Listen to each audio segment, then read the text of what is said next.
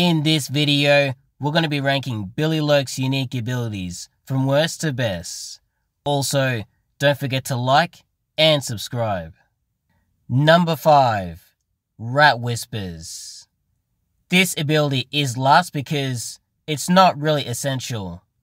You can use this ability to gain intel on characters and areas, but overall, you don't really need it. Number 4. Displace. This ability is a worse version of Blink and Far Reach. The range is shorter and it costs more to use, even though the mana bar is different in Death of the Outsider. This ability is so bad that I would recommend not using it because it's costly and not very effective. Number 3. Void Strike. This is a cool ability. You can attack enemies from range, and the distance you can hit enemies at is impressive. The problem with this ability is that it takes about 4 to 5 hits to kill enemies, and by the third strike, you're already low on mana. What's worse is, in enemy groups, you can only strike one enemy at a time, so you're easily swamped. Once again, this is a cool ability, but it's somewhat expensive and not that effective.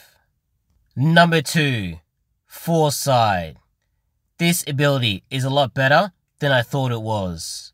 You can use this ability to highlight enemies, documents, and scout a level so you have an idea of what to expect up ahead. You can also see the expected path a highlighted enemy is going to take. This ability is also good because it doesn't cost much to use, so it lasts a while. The problem with this ability is that it has a range. If you go too far away from your starting point, the ability ends.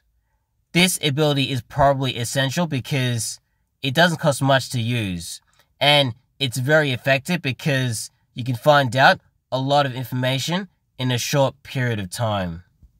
Number 1. Semblance.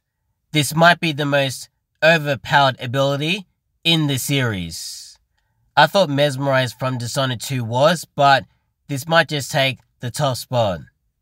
One of the reasons why is because when you use this ability on an enemy, you not only take their appearance, but you knock them out at the same time. So it's even better than possession. Combining that with the mana system in this game, you can use Semblance on an enemy, walk up to another enemy, wait for your mana bar to refill, and then use it again. And you can do this over and over again. It's absurd that this is even possible because, in theory, you can use Semblance to take out every single enemy in a level with ease. The one negative to this ability is that if you are detected, this ability becomes useless. But the positives far outweigh the negatives. Semblance is not only the most effective ability in this game, but in the entire series.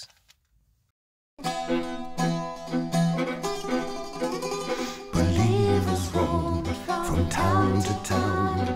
They spied every baby boy up and down, scouring the land.